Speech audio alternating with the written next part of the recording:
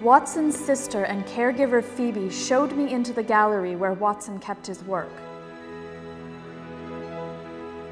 There were more pictures by one artist in that room than I'd ever seen in one place.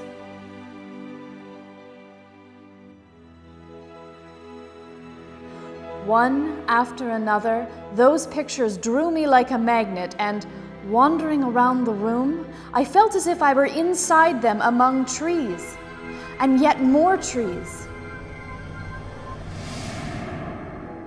I hadn't met the artist yet, but I knew I wanted to write his biography. When the paintings went to Windsor Castle, his stature was raised um, enormously. He was the first Canadian painter that was recognized internationally.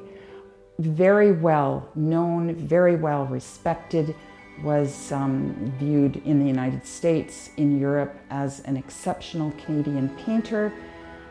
There was not a person before Homer Watson that had that same kind of stature. He certainly did open the doors to the world that Canada could produce excellent painters.